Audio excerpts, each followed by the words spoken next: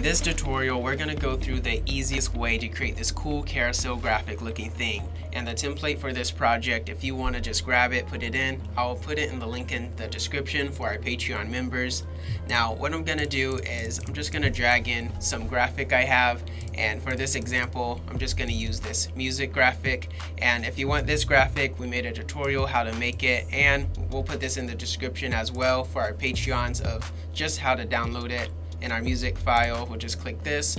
We have all our templates in our Patreon. You just download it right here. So the first thing I'm gonna do is I'm gonna click right here and make this a smart object so we can move it around in 3D space later. And then I'm gonna create a null by right clicking new null object. Now I'm gonna click right here to title slash action safe so I can center my null right in the exact middle of the screen. And then I'm gonna select my shape and I'm gonna get this spiderweb looking thing and whip it right here. And I wanna make sure I make this null a 3D object as well. Now I'm gonna go to my shape right here and hit Command D and I'm just gonna duplicate this about eight times. And then I'm gonna go to my active camera and I'm gonna select top view so I can move this around in 3D space. Now I wanna get the uh, geometry exactly right for this. So I'm just gonna go to Google. I'm just gonna type in circle with eight dots. Now you can make a graphic like this if you want, or you can just go online. I'm just gonna drag this in here. Now that I dragged it in here, I can't really see it because I'm in the top view. So what I'm gonna do is make the object a 3D object. I'm gonna hit R on the keyboard and I'm gonna bring this to minus 90. And then I'm just gonna scale this up a bit. And these dots right here, I wanna make sure I get each shape layer right on a dot. But before I do this, I'm gonna go back to my uh, active camera and I wanna make sure these are a little smaller because I don't want all these being too big. And then I'm gonna go to my top view again and I'm just gonna drag the first one right down here. Now after I'm done with that, I'm gonna go back to my uh, active camera right here and I'm gonna see how it is. Now if I go to the null and hit R on the keyboard and the X rotation, I see this is a little too close together. I like mine being a little far further apart. So I'm gonna go back to my active camera and go to the top one right here and I'm just gonna expand this a little bigger and then realign it up. Now I'm gonna go back to my active camera and I like this space right here. Let me test it out. I'm feeling good about this one. So if I do the Y rotation, I can see it's not orienting towards uh, my camera right here.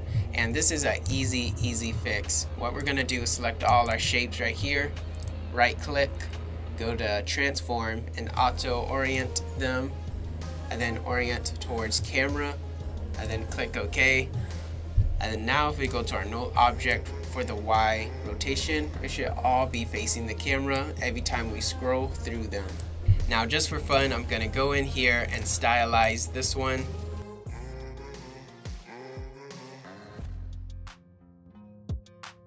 Now after I'm done doing that, I'm just gonna go to the null, hit R on the keyboard, and my Y rotation, I'm gonna set a timestamp right here. And let's say we're gonna move this about this way. Now what I always like to do is make my keyframes, right click on them, keyframe assistance, and put an easy ease on them. Go to the graph editor tool and make sure, if you don't see this, make sure you right click and go to edit speed graph I'm just gonna select this and bring it down a bit and then let me see how that looks. Now we should have something like this, looks pretty cool. Now let's go ahead and track it into a scene if we want. And then what I'm gonna do is drag my main carousel footage right here and just throw it in here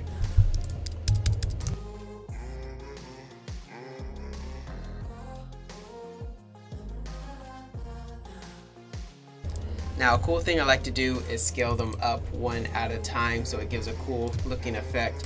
Now after you're done having some fun animating it just like this, I'm going to make sure I select all these, hit T on the keyboard and make the opacity, let's say 85, so it can make a more realistic looking effect when it's out in the forest right here. And then I'm gonna duplicate this, go to fill, just throw a fill on here, and I'm gonna make this black because I want some shadow to this. And then I'm gonna go to toggle switches, make this a 3D layer, hit R on the keyboard, and I'm just gonna drag this down here. And then in the effects and presets, I'm gonna put a blur on it right here. I'm just gonna raise this up a bit. Hit T on the keyboard, bring the opacity down. Now it should be looking more realistic right here. And then I'm gonna make sure I get my shadow, pick whip it to the main object right here because I'm about to track the main object to this main scene right here just by double clicking go to going to my tracker and I'm gonna do track motion and I'm just gonna like track a log or something let me go to the beginning of the time frame. Let's say we want to track this and hit tracker. Uh, this one didn't work out so I'm gonna find another one. And if you want a more in-depth tutorial about this we have it in our Patreon the exclusive tutorials. Click OK, then apply to Y, X and Y, click OK. Get my main comp right here, and I'm just gonna gonna pick whip it to this positions down here. And here we have it, how to make a cool carousel looking effect using Adobe After Effects. Now you can make this look a lot more cooler on your own time, and for the template for this, we'll leave it down in the description.